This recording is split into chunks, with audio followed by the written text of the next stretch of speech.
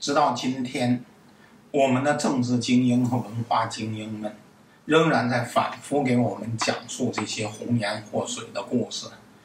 仍然在反复的在为我们的曾经有过的帝王制度和帝王政治文化传统们做百般的辩解。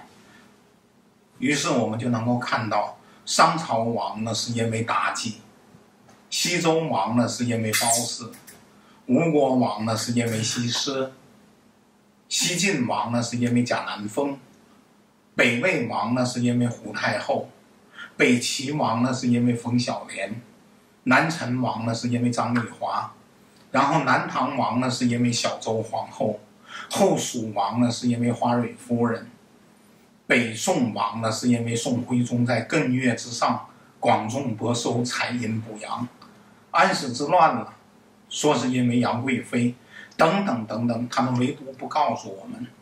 为什么会这样？为什么一个男人掌握了公共权力之后，就几乎可以为所欲为、随心所欲的祸害这个国家和他的人民？这是因为我们的政治文化传统和制度出了大问题。仅此一端，讲述这些故事的政治精英和文化精英们，他们有多么卑劣，其实已经彰显无疑了。那些乐呵呵、屁颠颠的听着这些故事，并且心向往之的中国男人们，可怜到了多么不堪的程度。其实他们遭遇的所有的这样的轮回当中的痛苦。他们遭遇到的这种祸害，在很大程度上说实在的，是他们自己招来的。这也是一个不说也罢的话题。和任何时代一样，陈叔宝的这个南陈宫廷当中，也有胸怀良知并且敢于这样仗义直言的人。中国人习惯上把这种人称之为忠臣。那么显然。但凡出现忠臣的时候，就经常意味着这个国家的主政者，不是出了大问题，就是整个国家已经走到了大崩溃的边缘。那么我们下边所要看到的这个傅载和张华，就是这样的两位忠臣。这个傅载官居中书通事舍人。相当于什么呢？用今天的官位来比较，他相当于在皇帝身边的机要秘书兼机要局局长这么一个角色。皇宫内外的内通外达的事务归他负责，为皇帝起草各种诏书文告，并且沟通内外，这是他的职责。陈叔宝做太子的时候，这个傅载就是他的。太子东宫的属官，所以呢，呃，他算得上是皇帝知根知底的自己人了。这个人思维敏捷，他的文笔非常棒。陈叔宝曾经特别倚重他。那么这个傅载呢，因为他有才，所以很多有才的人都会恃才傲物。这样的人也经常不屑于隐瞒自己的观点，他经常的有话就说。刚正忠直，所以就把陈叔宝周围的一群佞臣就围着陈叔宝给他拍马屁，让陈叔宝每天那个快乐无比的这批佞臣们，就就特别恨这个负载，因为这个负只有负载敢于实话实说，把他们的那些丑态有的时候就当众给揭出来。那么这些佞臣们想了一个办法，就他们联合起来就说这个。傅载在接待这个高丽派来的使者的时候，曾经收了这个高丽使者的贿赂，那就这样，这个傅载就被逮捕了，就被关到大牢里边了。那么在监狱里边，这傅载根本就不改本性，他该说什么就说什么，给那个陈叔宝上书，直言不讳的批评皇帝酒色过度，完了，并且痛斥朝政败坏、奸佞弄权。满朝之上尽是宵小之辈。他那里头有两句话挺有名的，叫做“恶忠直若寇仇，视百姓如草芥”。因为这个导致了天怒民怨，众叛亲离。然后他说他恐怕东南王气尽失而尽。陈叔宝读完了之后，就就就就就就就怒火攻心，一时间就怒火高万丈。但是呢，他想来想去，就觉得这个这个富仔既有才华过人，同时又是自己身边的老人，是信得过的。那怎么办呢？他就派人去问那个富仔，就说：“我是想豁免你，你能改过，别再这么胡说八道了，行不行？”那富仔的回答很坚决，他说：“我心如面。”面可改，心才能改。就说我的心和我的脸是一样的，我的脸能够改，我的心就能改；我的脸不能改，我的心也没法改。陈叔宝就下令，好吧，我成全你，就彻查到底。这个富仔就终于被在监狱里边被弄死了。这个时候，正是隋文帝杨坚为了伐陈，然后紧锣密鼓做周密准备的时候。那么另外一个大臣，这个张华，他就上书给这个陈叔宝。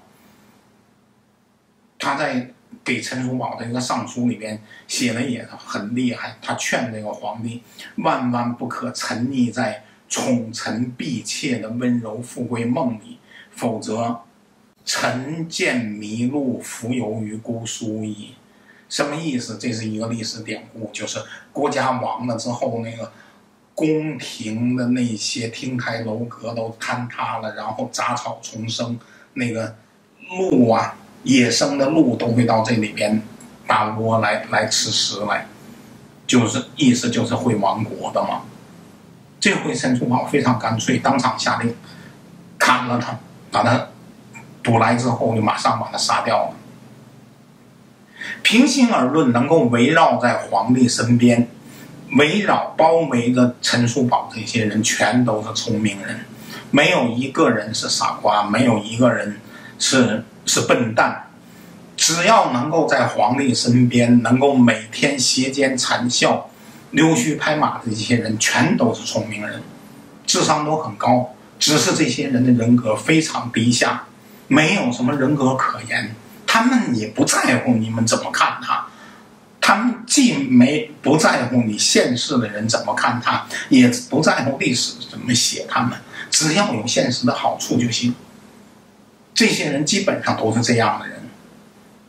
说起来，他们每个人智商都很高，而且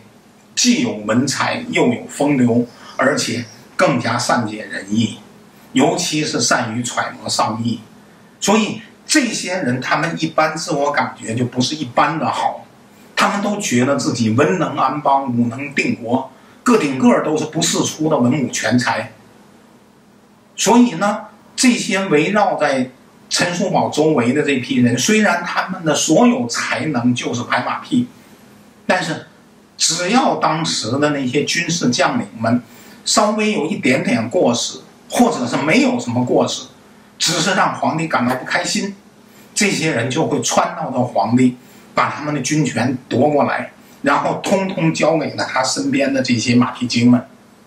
就这样，南陈国文武解体，史书上这样说，这个国家事实上已经解体了，没有人在心里边还是想要坚决的捍卫这个国家，保卫的没有，所有的东西，所有正能量的东西都是。停留在口头上。那么到了公元五百八十八年的四月，隋文帝杨坚下诏讨伐南陈。陈叔宝，这个隋文帝杨坚在讨伐南陈下下令讨伐南陈的同时，他把陈叔宝的二十大罪恶制作成了三十万份传单，就在江南地区广泛散发。这可能是到那个时候为止，中国最早也是最大规模的一次宣传战、舆论战和心理战。在世界范围内，这么做事情的大概也可以名列前茅。到了这一年的冬天，隋文帝杨坚就派出来他的儿子晋王杨广、秦王杨俊，还有当时的那个。一个非常有名的人物，我们今后会讲到很多这个人的故事，就是清河王杨素，他们作为行军元帅，共派出去了九九路大军，有九大总管分别统管，然后有五十一万八千名士兵，兵分八路，就大举发陈。第二年正月，这个隋军从广陵，也就是今天的江苏省扬州市渡江。不久以后，就发生了那个流传千古的故事：隋军进入到了石头城，就是健康城，也就是今天的南京城。这个陈叔宝，并没有组织什么坚强的那个抵抗，他从那个皇宫里头跑出来，就藏到了皇宫后花园的一口井里边。隋军发现了以后，就在井上喊。陈叔宝在井底下也不敢答应。那井上边的这些隋朝军队的那些官兵们就就在上头商量，说：“来，咱们弄石头把这个井给它填死算了。”他们就把陈叔宝吓坏了，他就大喊救命，井底下有人。那么上边的人就用绳子拿一个大筐吊到底下去。在往上吊人的往上往上拔他们的时候，就感觉非常吃惊，因为这个人怎么会这么沉重？结果等到把这个大筐给拉到井底上井上边去的时候，一看，这个大筐里边是三个人：陈叔宝、张丽华和巩桂平。呃，那个孔桂嫔是三个人在那大筐里面。陈叔宝做了。隋朝隋文帝杨坚的俘虏了之后，整个南陈覆灭，陈叔宝和他的这个皇室宗族没有人受到杀戮，就被这个隋朝好吃好喝的给供养起来了，成了南朝所有短命王朝当中的一个艺术，就是没有被屠戮他的后代。隋文帝杨坚几乎杀光了北周的皇室，但是他对陈叔宝就非常宽厚。把他封为三品官衔儿，每次宴会之前，这个隋文帝就担心陈叔宝伤心呢。每次宴会都要奏乐的嘛，那么这杨坚一到这个时候，他就会叮嘱那些宫廷乐师不许演奏江南音乐，免得陈叔宝听了之后伤心。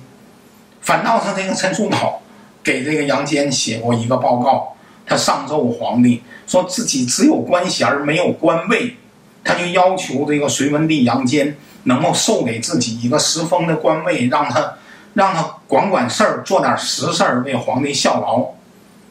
嗯，杨坚笑了笑，完了，等到这个陈叔宝离开的时候，杨坚看着他的背影，对左右侍奉的人说：“叔宝全无心肝。”这个南陈灭亡的时候，除了几个公认的坏蛋被杀死之外，就当众处决，为了平以平民愤嘛。所有宫中当中的女子，只有一个张丽华被杀死了，原因就是因为她风华绝代，长得过于美丽，而且善解人意。这也是中国历史上一桩说不清道不明的案件。这件事情其实后来影响非常大，围绕着张丽华被杀死，其实当时有很多不同的说法。其中一个主流的说法是大概是这样的：就是下令杀死这个张丽华的人，其实是统帅部的那个叫什么？当时是叫长史。统帅部的常识，我们可以把它理解成是今天统帅部里头的执行长或者叫秘书长。其实统帅部所有的那个统帅，不管是，呃，后来的隋文帝，呃，后来的隋炀帝杨广，当时的晋王，还有其他的几位统帅，其实这些人都是名义上面的，只有这个统帅部的这个长史。高炯，他是掌握实权的，而这个高炯在整个隋朝，他起的作用非常巨大。这个人是真正的一代名臣，在中国历史上，他的名气极大。在古代史上，他的名气一点都比不比诸葛亮小。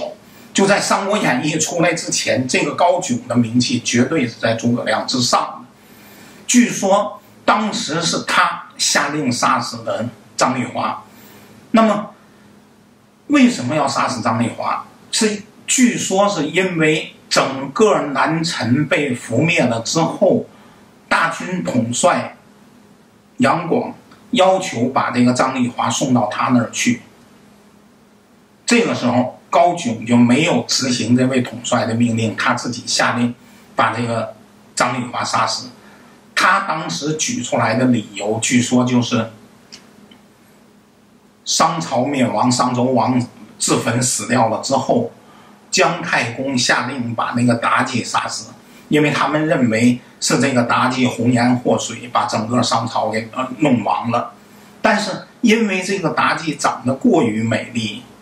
派去杀她的那些士兵们，谁都不忍心杀死这样的一个女人。没有办法，最后呢，这个姜太公下令把这个妲己的脸给蒙起来，这样新叫来的这个士兵才下得去手把妲己杀死。现在这个张丽华据说也是处于这样一种情况。那么高炯就认为这样的人是人间的红颜祸水，不能留，所以下令把他杀死。据说高炯下令杀死张丽华的时候，杨广曾经说了一句话：“说高公的德行，我心领了，今后我一定会有机会报答高公的。”这就是后来为什么隋炀帝杨广要把对隋朝既功高位重，同时又有极为崇高威望的高炯。要把他杀死的一个重要原因。那么，当然，现在关于这个说法也出现了不同的看法，就是有一些为隋炀帝翻案的人坚持认为这个说法是假的，是不存在的，是虚构的。但是，没有任何人能够拿出来一个坚强的证据来证明这一点。所以到目前为止，我们也只能按照过去人们的说法。来理解它，直到出现了新的证据和新的，呃，新的史料了之后，我们才能够，才能够真的替杨广，至少是在这件事情上翻案。否则的话，谁想替他翻案，可能都比较困难。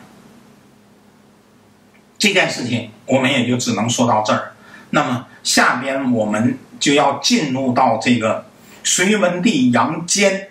他是怎么样从一个呃虽然不普通，但是也仅仅是一个臣子这样的这样的地位上面，怎么样就居然能够建立起来的大隋帝国？而且史书上有人评价，隋文帝杨坚建立大隋帝国，取代北周。可能是中国历史上改朝换代最轻而易举的一个，最轻而易举的一个。这个情况确确实实，从古到今，人们都在讨论这个话题，就是都在讨论这个杨坚他是怎么做到的，他为什么就能够那么轻而易举的把这个，嗯，把这个北周就就给废掉。然后他自己又轻而易举的建立起来了他的大隋帝国，几乎完全是和平演变过来的，仅仅是发生了几次，呃，虽然说起来规模很大，但是很快就很快就会解决掉了几场战争，然后他居然就改朝换代建立起来的他自己的这个大隋帝国，而且在这之前，应该说隋文帝杨坚他既没有特别高的这种。威望，他也没有特别高不可攀的这种功业，同时他也没有建立起来他自己特别大的这种实力，就和过去我们看到的这个，嗯，比方说这个南朝的这个宋齐梁陈，是吧？每一次他们改朝换代，都是因为这个朝代的建立者，他已经建立起来了非常强大的实力，他已经成了一个巨无霸，没有人能够。和他当时的这些巨无霸们相抗衡，所以这些人才能够取代那个前朝，建立起来他们的那个后朝。然后他们建立起来的他们新的王朝了之后，又因为他们的那个子弟们不成器，甚至一个比一个坏，一个比一个是那种坏蛋胚子，一个比一个坏的让人瞠目结舌。所以呢，他们。用一个朝代取代另外一个朝代，在中国的帝王政治和政治文化传统的逻辑之下，就变成了一件，变成了一件很正常的事情。那么，唯独这个隋文帝杨坚，他在这之前什么都没有。就像我刚才说的那样，他既没有建立起来了不得的这种军功，了不得的这个文治，了不得的这种什么东西，然后建立起来了广泛的威望，然后他又建，他又能够达到非常高的这个地位，什么都没有，他居然就能够改朝换代，这是在历史上直到今天还人们还在讨论这件事情，就是他是怎么做到这一点的。就这样，一千多年以来，从隋文帝杨坚建立隋朝开始，一千多年了，直到今天，都有人认为杨坚建立隋朝，在创建一个新的朝代和国家，在中国历史上没有任何一个其他人像他这么轻而易举。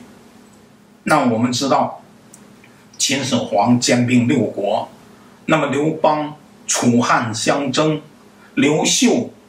东汉的这个开国皇帝刘秀，他要削平天下建立起来的东汉。